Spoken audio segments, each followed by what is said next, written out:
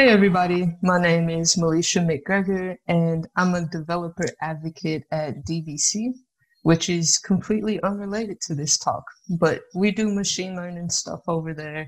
But today I'm going to talk to you about how you can use JavaScript to find your dog.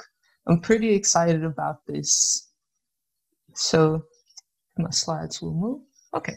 I always like to do a quick overview at the beginning of every talk, just so y'all kind of know when to tune in and tune out. But hopefully, this one keeps your interest for a while. So, first, we'll go over the project and kind of the motivation behind using JavaScript to try to find your dog. Then, I'll talk a little bit about the hardware behind it. If you have an old Arduino, you can dust that off. And we'll go over making the node server to interface with our Arduino and a front end app, which will be super basic. And finally, I'll wrap up with just a few key things that I hope you'll take away from this today. So let's talk about this project. The main thing is definitely a personally driven problem so sometimes my dog likes to disappear. I know that he's somewhere around. He's probably in the house. Maybe he locked himself in a room or something. He's been known to. And he won't bark. He won't scratch at a door. He won't make a noise. It's unnerving because he's absolutely quiet right now when you really need them to just make a noise. Anything would do. And the best part is, usually they're not where you think they'll be. Like, sometimes they have their favorite places, sometimes they're just in the abyss. you don't know where they could have possibly gone, and you need something to help you find them. So that is where this project comes from. And now, this is kind of the fun part, the harder to show part, but I'm gonna do it anyways. I'm gonna stop sharing my screen for a brief second so that y'all can actually see my camera because I got some hardware to show you. It's been a while since I got to show off hardware. I'm excited. But let me unplug a thing and hope that doesn't break everything for later on. And you know, I'm gonna I'm gonna be a little risky and see if I remember which pins these things go to. But first, we just have a regular old Arduino Uno. It's something that I've had left over in, you know, those projects that we all say we're gonna get to. But we'll be using the pins on this side. Down here is just power for our Bluetooth little module we'll be plugging in. And up here, yeah, up here is where we'll plug in like the beeper.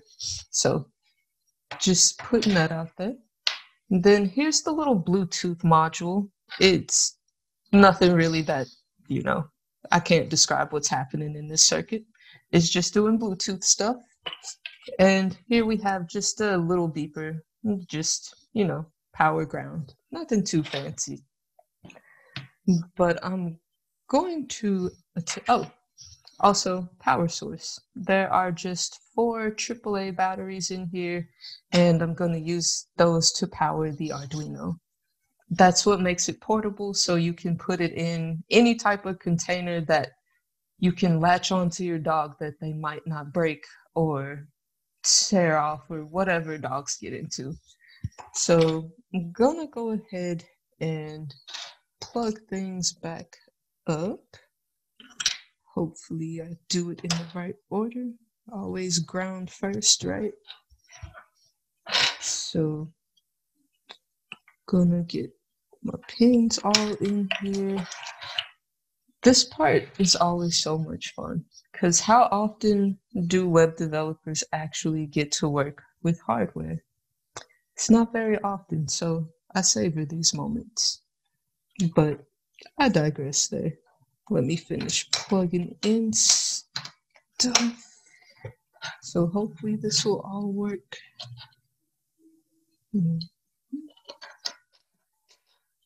And this pin should be the last one. Okay, so I'm gonna try to show this again. And it just looks like a jumble of stuff, but you can see the Bluetooth module thing is blinking. The Arduino has a light on up there, and all of this is just gonna go in a box. Like, I don't have any fancy material or like a CNC machine to make a nice container for my dog finder, but you can do those things if you choose. So now that you've seen the hardware and hopefully it doesn't look that intimidating to set up, there's a little bit of firmware you'll have to download onto the Arduino Uno, but it comes built into the IDE that you use to set up the Arduino. So you don't have to write any crazy like header code or anything. But let me go back to sharing my screen because now y'all have seen the magical hardware. All right, so next we can get into a little bit of code. So this is where the actual fun part happens. Let me make sure, yeah, my thing isn't beeping obnoxiously so I can actually leave it plugged in until the demo. Okay, so now we'll talk about the node server itself. There are only a few different packages we need to use to make this entire thing work. Um, concurrently, I'm just using that to run a few different commands at the same time. CORS, you know, don't want those CORS errors popping up when you have an IoT device that's life or death with your dog. Even hopefully it's not life or death, but if it is, you don't want a CORS issue holding you up from finding your buddy. And we're just going to set up a regular old Express app, so nothing fancy there. But then we'll get into Johnny 5. So Johnny 5 is the library that we're going to use to actually interface our web app with our hardware. Like it's it's just gonna be super easy and nice. And then path, cause you know, gotta do path stuff.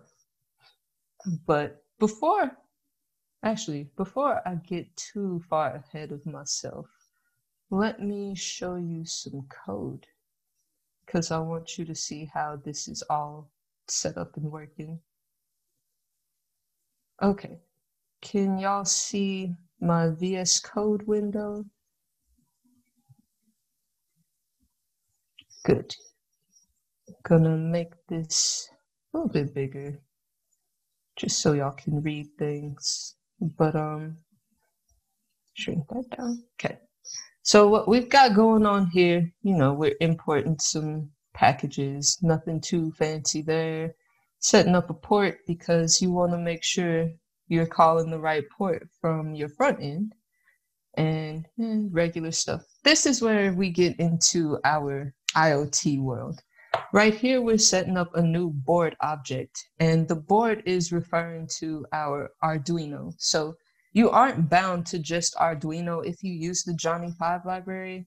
I'm pretty sure it works with Raspberry Pi and maybe some of the other like PIC controllers, but the main thing you need here is the port number that your device is on. This is another thing that you can get from your Arduino IDE. There's like a settings thing that'll just tell you which port you're on. A lot of times, if you're on Windows, it's going to be COM3 or COM4. If you're on a Mac or Linux, it'll be something else, but I like to make things difficult. So, of course, this is on Windows. But after that, just a few little things we define. We have some APIs going on down here, but this is where the fun happens. So we are saying, hey, when our board is ready, we need to get this location on the board.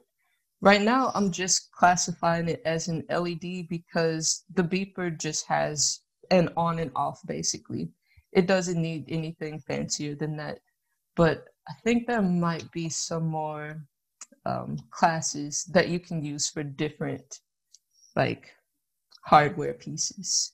But for us, we just need to instantiate our beeper so we can use it in our API calls. And down here, again, we're just defining the API. This is the endpoint we're going to call to start the beep. When we push a button, it'll just trigger this on, which will send that voltage to the um, beeper through the Arduino. And then down here, we have another endpoint to stop the beeper, and that'll just cut that off. So that is how you set up an IoT node server. That's it. Just a couple of endpoints, a few method calls, and one really good library. So now that we have our backend set up, let me switch back very briefly and we can talk about the front end. Which now I'll go back to the code again. But the front end is super simple. Like this is the first time in a long time I haven't used a JavaScript framework. It is just HTML, JavaScript, and CSS. But the HTML part's not that interesting. It's just a couple of buttons and some text. Where the real stuff happens is here in the JavaScript file. So you see we get our buttons from the document, we get them from the DOM, and we just add a few event listeners here for when you click on them, and those call our endpoints. That's all. So if I'm going to stop this because I have confidence that this will still run if I try it again. So I'm going to do npm start and I guess needed to do that, but oh, oh, what is it doing?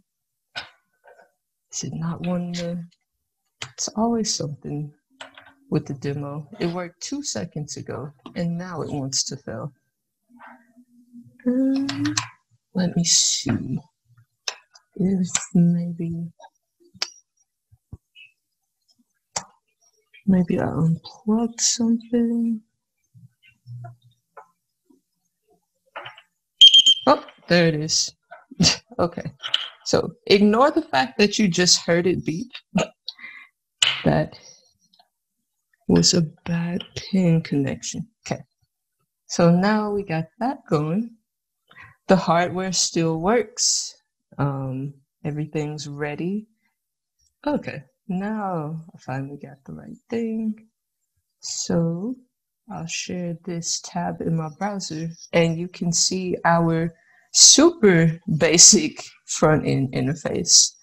The way that it works is exactly what you see. So when I click the button, it should signal the thing to start beeping. Let me make sure all my pins are in here good. And okay. Okay. Now let's see if off works. Okay. Sweet.